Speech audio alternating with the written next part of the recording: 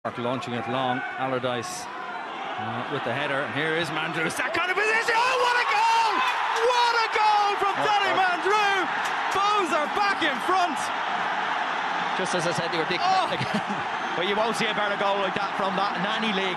What any a league strike. around the world. It's absolutely fantastic strike from young Mandroiu. And we know he has that in the locker, but that's come out of nowhere. Again, good pressure from Bohs at the throw in, win the ball back. But what a strike. Oh, Keith Long must be jumping for joy inside, even if it doesn't show on his face. It was Allardice who won the header. Yeah, Wade Slater just heads it back inside. Nothing on for Mandroiu. He says, OK, I'll get me left foot around this and pings it into the top corner. What an angle that is to see it. What a strike of a goal. Brilliant goal from Mandroiu. Just as I was saying, they need to get him on the ball a little bit more. They have, and that's what he's done. Missed the penalty.